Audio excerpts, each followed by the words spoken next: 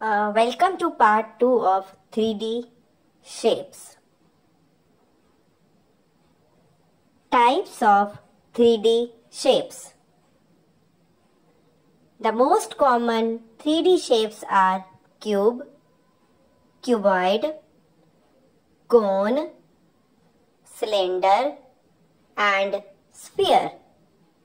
The 3D shapes consist of both curved shaped solid and the straight sided polygon called the polyhedrons.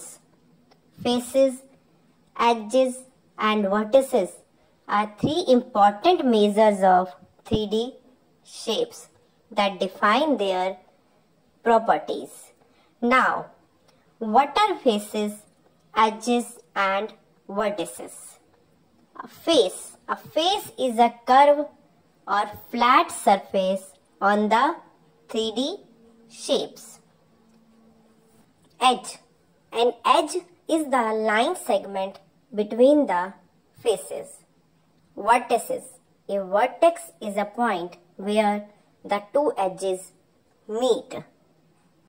Now we will discuss them one by one. Number 1. Cube. Examples of cube are dice, ice cubes and Rubik cube. Number 2. Cuboid.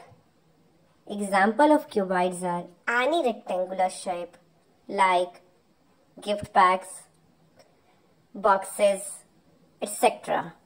Now, cube and cuboid both have six faces 12 edges and 8 vertices.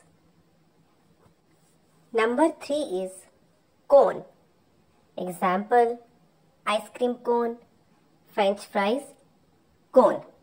Now, cone has two faces, one edge and one vertex.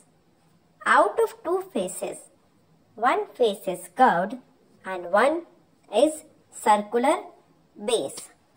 Number 4. Cylinder. Example cell and dustbin. Now, cylinder has three faces, two edges and zero vertices. Out of three faces, one is curved and two are flat surface. Number 5.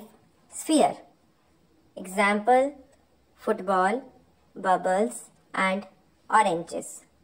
Now, sphere has one curved surface, zero edges and zero vertices.